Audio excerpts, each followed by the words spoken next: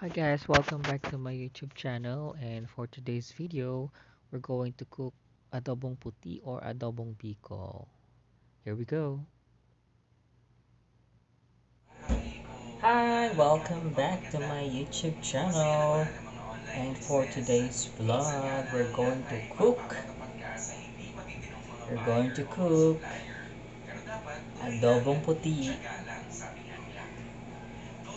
So, ilagay na natin sa kawali.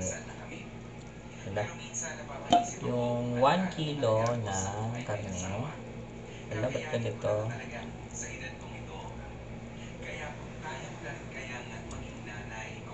Okay. 1 kilo ng karne. Ginawa ko liempo siya. Isang kilo. Tapos, papalambutin natin yan.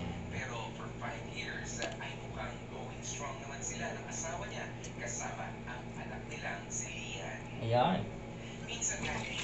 So, 1 kilo ng karne. Lalagyan natin ng water.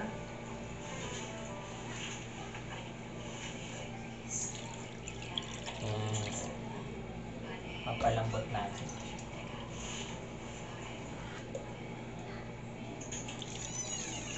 Adobo cut po yan.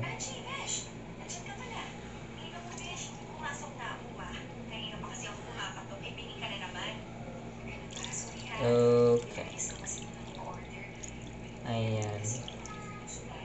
Ganda na yan. Tatlong tasa ng or tatlong mug ng tubig. Tapos, let's lagyan natin ng bawang. Isang isang buong bawang siya. Dinikdik. And then,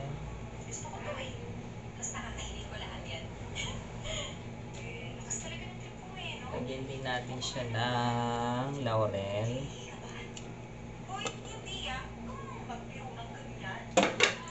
At syempre ng paminta.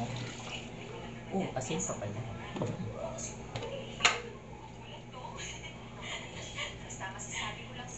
Asin.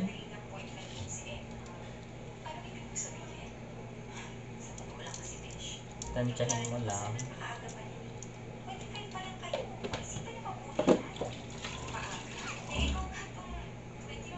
Alright, and paminta.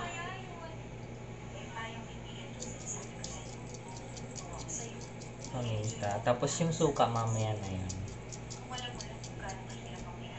Uh, ayan, pwede yan.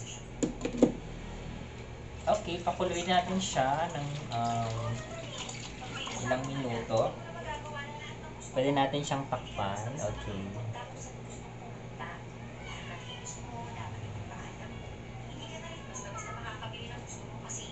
So, again, this is adobong puti or adobong bicol. Tapan na natin. Ayun na. Ayun na guys, after 10 minutes, ganyan na siya. Wow.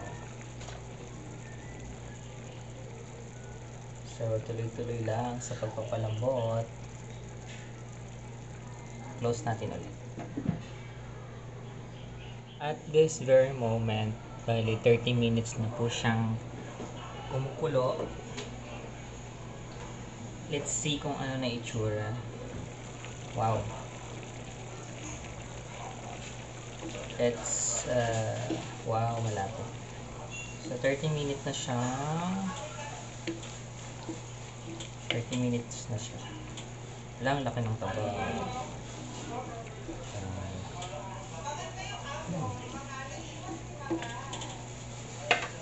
Okay. Hindi pa siya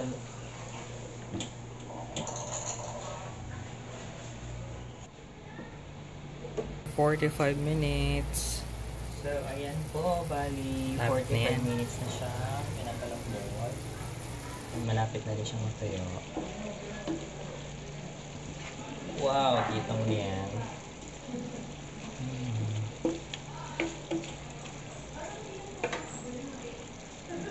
natin yung suka maya maya.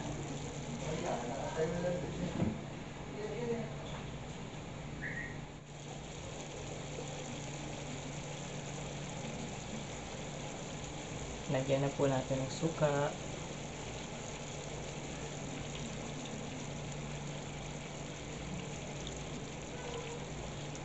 Ayan.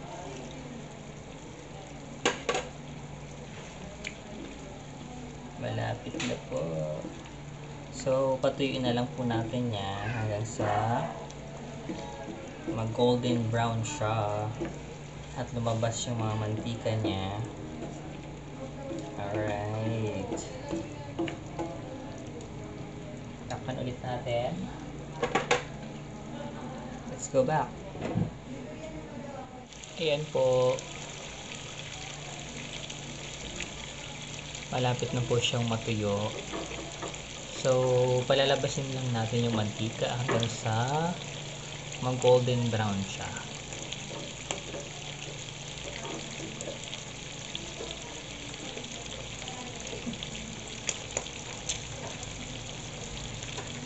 Alam mo siya, halo-halo.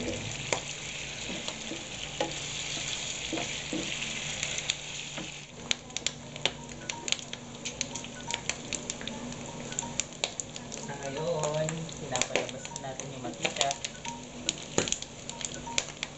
Kailangan mo lang siya halo-haloin para pantay siya. And mag-ingat kasi tumatalsik yung mga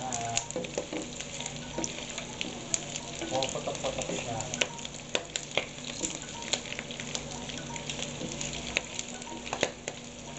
Golden brown na. Kulang pa yan. Palabasin pa natin yung mantika. Isang oras na siya sa ngayon. Isang oras na siya. Konti na lang.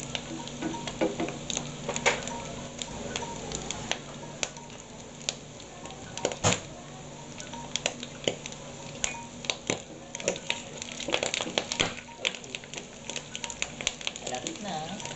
Bagong taon. Wala po siyang toyo. Suka, asin, paminta, bawang, at laurel. Yun lang. Ayan guys, malapit na. Konti na lang. Grabe yung potok niya.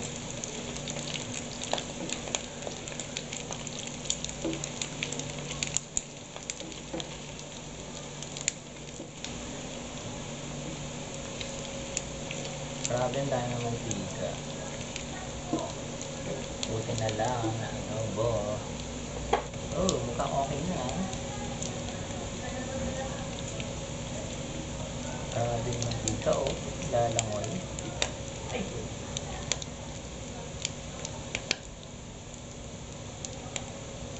Lalangoy.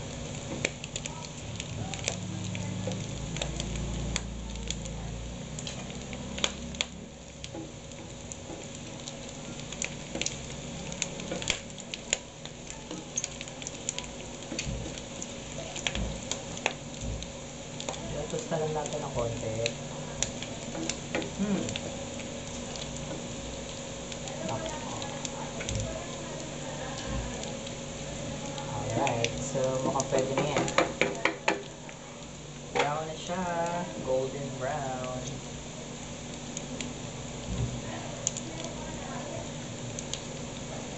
Okay na yan.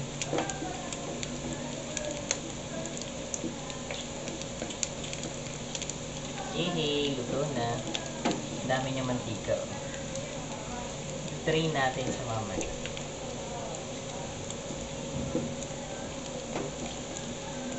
Oh, pwede na yan.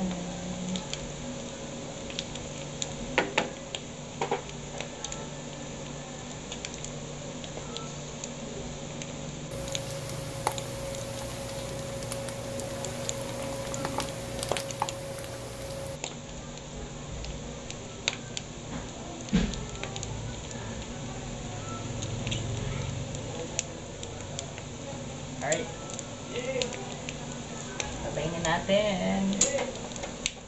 Eh, tapos na. Alright. Thank you.